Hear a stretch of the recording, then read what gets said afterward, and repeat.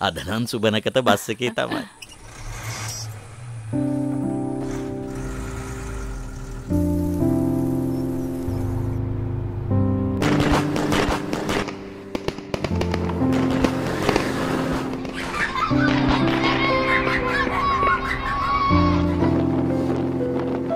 ඒ සුබනකටත් ලැබුව නේද පුතා.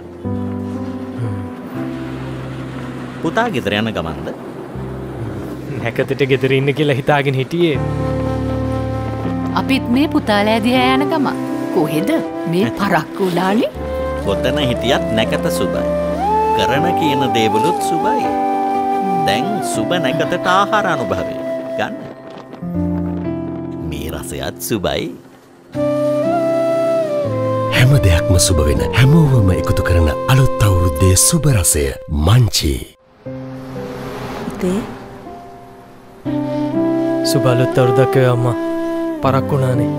පුතා ආපු එකම සුබයිනේ. ආ මේ සුබරසයක් තියෙන්නේ